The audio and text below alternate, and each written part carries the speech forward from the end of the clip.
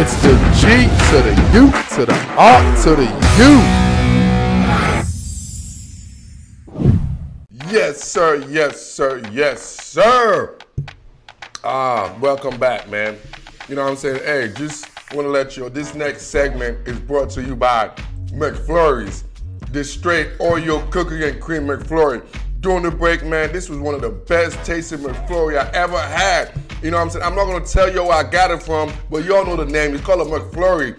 You know what I mean? So if y'all have a chance, go to your local place that serve McFlurry, McFlurry, and tell them the G to the U to the R to the U sent you, man. On that note, let's talk about the Patriots and the Bills. Oh my God, man! I call this the Orchard Park Massacre. Dog, did y'all see what happened to Bill Belichick, man? They almost put 50.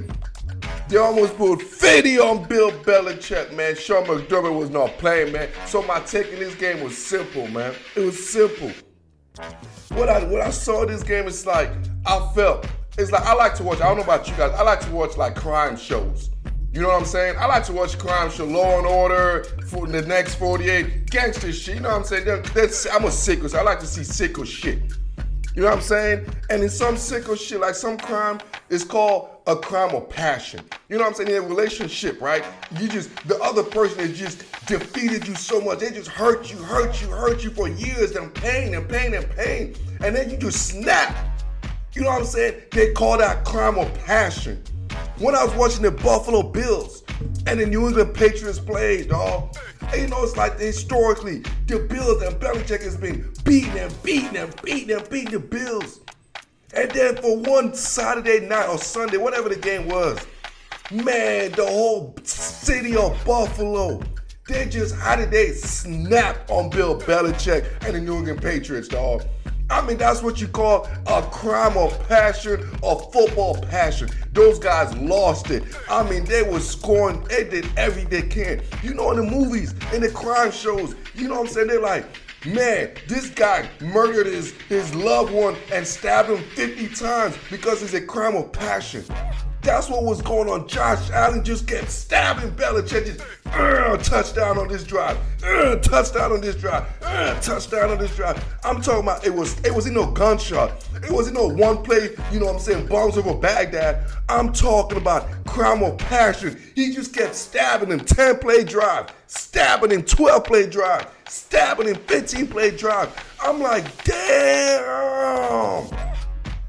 I'm sitting here like, this is vicious, man. And you can just feel all the emotion. You see the emotion coming out during the during the rage.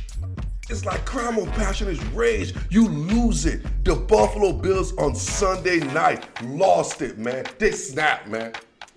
Just like that TV show, snap. They just snap. I'm telling you, man. That's exactly what happened. And Belichick, I mean, drop, bro.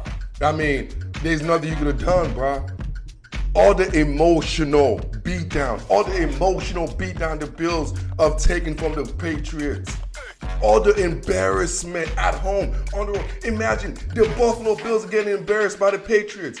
You know what I'm saying? In front of your mom, your dad, your loved ones, your kids. They've been getting smoked in front of your whole family, bro.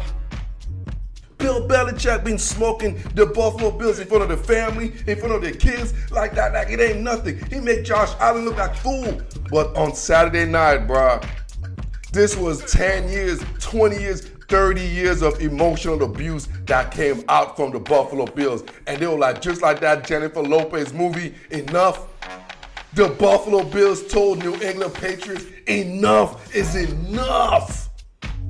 You all remember that Jennifer Lopez movie, man? She was getting abused a bad relationship and she couldn't take it no more. She's like, enough is enough. I'm gonna fuck you up. That is exactly what Josh Allen did to Bill Belichick. Bill Belichick, you want to be a quarterback killer, a young quarterback killer? You want to talk about I'm seeing ghosts? You know what? Enough is enough. It's my turn now, and you're going to see my ghost. I am Josh Allen. Man, dog, that was a beautiful game I watched, man. Man, I was like, the passion I came out. the anger, the frustration, the years from the city, the years of frustration came out Saturday, man. And congratulations to Josh Allen. And y'all know me, I am the biggest, biggest Josh Allen non-believer. I don't believe in Josh Allen at all, man. I think he's a fugazi. You know what I'm saying? I think he's a genie. I think he's Santa Claus, man. I think he's a tooth fairy, man. He's something people talk about, but I never seen or experienced. That's Josh Allen to me. you know what I'm saying? People talk about the Santa Claus. People talk about this. I've never seen it. People talk about unicorn. I've never seen it. You know what I'm saying? I heard of it. I ain't never seen him. That's Josh Allen. I, I heard of him. But I ain't never seen them do what the hell he did. But damn it, Saturday, I see you, Jet A17. I see you, big dog. G to the U to the R to the U.